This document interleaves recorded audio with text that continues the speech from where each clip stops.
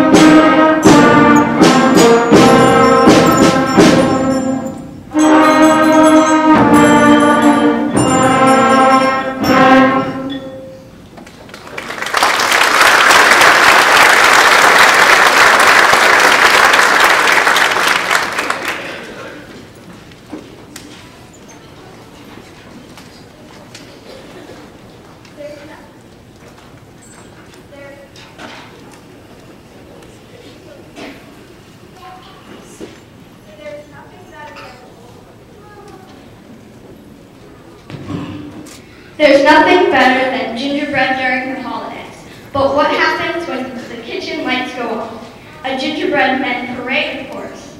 We hope you enjoy this festive too.